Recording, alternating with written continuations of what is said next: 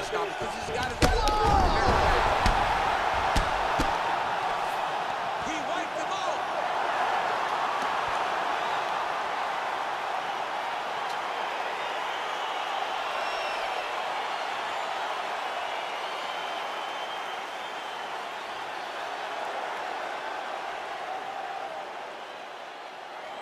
He's going to enjoy watching this one back. Let's take a look at the replay right hand. Finally, he found the one that hit the exact sweet spot that ended his opponent's night.